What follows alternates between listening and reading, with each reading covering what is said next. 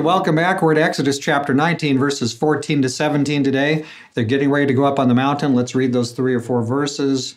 So Moses went down from the mountain to the people and consecrated the people, and they washed their garments. He said to the people, Be ready for the third day, do not go near a woman. So it came about on the third day, when it was morning, that there were thunder and lightning flashes and a thick cloud upon the mountain, and a very loud trumpet sound, so that all the people who were in the camp trembled. And Moses brought the people out of the camp to meet God, and they stood at the foot of the mountain. So here again, we have kind of a continuation from yesterday morning. Lots of intensity. The people are ready to roll. There they are. Uh, and Moses brings them out. They follow through. They wash their clothes a certain way. They did everything careful to be consecrated. And now Moses brings them out and they're gathering there at the foot of the mountain. Now, we can't tell from the text.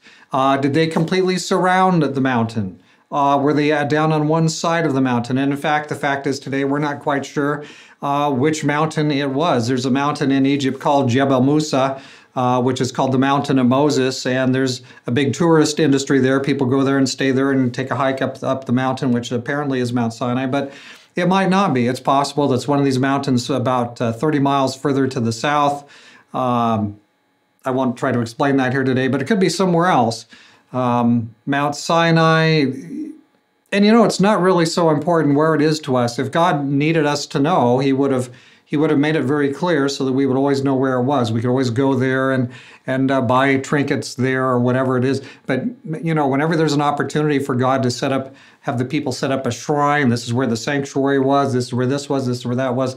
You don't really see God doing that. You don't really see that God preserves a lot of things there. He wants to be careful that we don't start worshiping relics or anything like that. So yeah, it'd be interesting to go over there someday and, and visit it. I've never had the privilege of going to uh, travel to Egypt, but uh, it would be interesting to look and see uh, what it's like. You can go on the internet and look at YouTube videos that are at Mount Sinai and St. Catherine's Monastery that's there and take a look around. So we don't know if that's it or not, but we know they were there and they gathered at the foot of the mountain, the people, and Moses goes up and down, and we'll see what happens tomorrow morning.